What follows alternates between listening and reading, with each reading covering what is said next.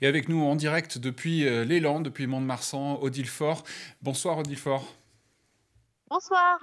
Alors vous êtes euh, au bord de l'eau. Hein. Les images sont impressionnantes derrière vous. Depuis euh, ces derniers jours, la tempête Justine, notamment ce week-end, a fait monter les eaux, les crues, les Landes qui avaient déjà été largement touchées ces derniers mois. Quelle est la situation aujourd'hui après ce week-end de fortes pluies? Alors, donc effectivement, donc les Landes qui connaissent leur quatrième crue en deux mois, hein, donc euh, les, les, riverains des cours d'eau en ont un petit peu marre. Euh, la situation aujourd'hui est un peu plus calme qu'hier et on n'atteint pas, on n'atteint pas les niveaux euh, d'eau de janvier 2019. Hein, vous vous souvenez, fin décembre de janvier 2019, avec Tartas sous les eaux, avec Mont-de-Marsan également, la Mi-12 qui débordait. Donc derrière moi, vous voyez justement la Mi-12 euh, qui coule à Mont-de-Marsan euh, et qui passe encore euh, largement sous le pont des droits de l'homme. On est loin des 7 mètres, enfin on est loin. On n'est pas encore, et on ne sera pas normalement, aux 7 mètres 46 atteints le, le 1er janvier 2019.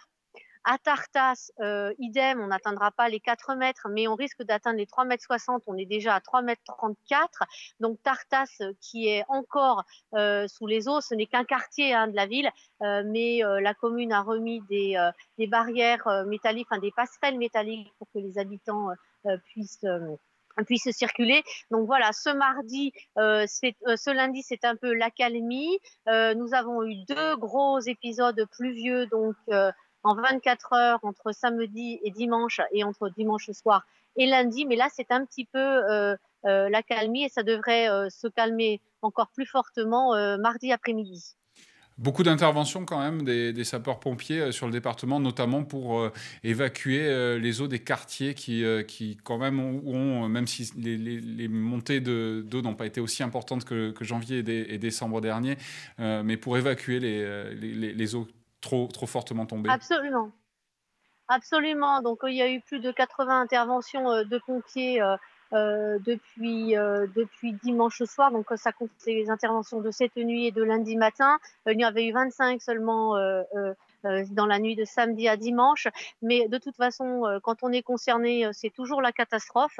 Donc effectivement, il y a pas mal d'interventions d'assèchement des fossés, d'assèchement de prairies qui viennent menacer des habitations. il y a eu, il n'y a pas eu d'évacuation de personnes, mais il y a des personnes qui de toute façon ont quitté leur logement. c'est le cas notamment d'un couple qui est toujours menacé et là qui a les pieds dans l'eau à Tartas. il y a eu ici beaucoup d'interventions euh, ce matin sur les routes. Hein. On a 56 routes qui sont coupées dans le département. On n'est pas encore euh, euh, au niveau atteint en janvier 2019. Pendant la dernière période, on avait atteint 68 routes fermées, mais beaucoup d'interventions des pompiers donc pour dégager les routes avec les services des départements, couper les branches. Et puis il y a eu cet événement, enfin c'est plusieurs événements euh, hier euh, dimanche euh, à Cap-Breton notamment pour dégager une grue qui était tombée sur le toit d'une maison et qui a miraculeusement épargné un couple qui dormait dans la chambre à côté de celle où la grue est tombée. Donc c'était un miracle. Et puis cette voie ferrée qui a été inondée à Rion-des-Landes et qui a bloqué tout le trafic des, TGV, des TER et des TGV notamment Paris en DAIPO, donc des événements qui ont mobilisé aussi beaucoup d'interventions des pompiers. Et puis euh, les agents d'Enedis aussi euh, euh, étaient une centaine aujourd'hui à intervenir dans les Landes pour des coupures de courant. Jusqu'à 1000 clients étaient encore privés d'électricité ce matin. Dans, dans, les Landes, on est un petit peu habitué, mais ça commence à faire. il y en avait jusqu'à 2000 également dans la nuit de samedi à dimanche. Alors vous parliez effectivement des inondations. Mais euh, les, vagues et, le vent n'ont pas, pas laissé de répit à, la digue euh, de, Cap-Breton également. Voilà, donc l'estacade hein, euh, qui avait déjà, qui avait déjà pris cher, pour employer une expression un petit peu grossière, mais en tout cas cette estacade effectivement qui est faite de bois et qui donc permet aux promeneurs d'aller voir l'océan au plus près, eh bien elle, elle a été carrément coupée en deux par les vagues de euh, la nuit de samedi à dimanche. Donc, euh, donc effectivement, c'était un petit peu l'étonnement et l'effroi dimanche matin quand les, les, habitants de Cap-Breton ont vu ça. mais mais ce n'est pas la première fois que l'estacade est touchée. Donc effectivement, il y a eu de fortes vagues, il une forte houle, et puis il y a eu cette écume aussi qu'on a vu sur de nombreuses plages de la côte basque jusqu'aux Landes, qui est venue cette sorte de neige carbonique qui est venue jusqu'à la terrasse des cafés qui sont fermés évidemment, et, des maisons également sur la côte. Euh, dernier point avec vous, euh, Odile Fort. Euh, vous parliez des, routes fermées, à une cinquantaine qui ont été contraintes d'être fermées pour la circulation. Est-ce que le trafic des trains a repris ou est-ce que les voies sont toujours encombrées d'eau Et est-ce que le trafic reprendra et est-ce qu'on sait quand il reprendra? Le trafic des trains a repris dès dimanche soir, euh, dès 17h15.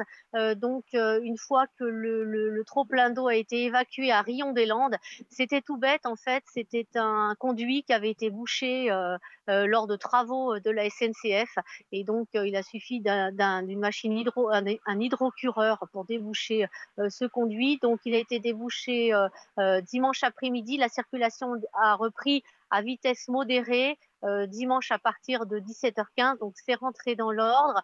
Euh, et vous parliez des routes. Alors, quand on parle de 56 routes euh, fermées, ce n'est pas la, route du début à la fin, évidemment, ce sont des portions de route, voilà, donc qui sont signalisées par les services du département avec des du barriérage et des sens interdits.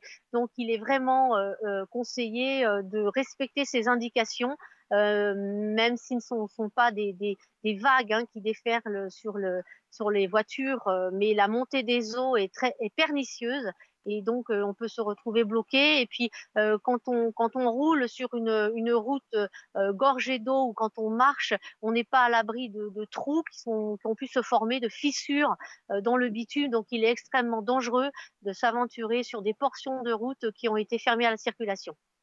Audifort, merci d'avoir été avec nous en direct sur ce plateau et de nous avoir permis de faire un point sur le département hollandais avec le passage de Justine. Merci, au revoir. Merci, très bonne soirée à toutes et à tous sur TV7.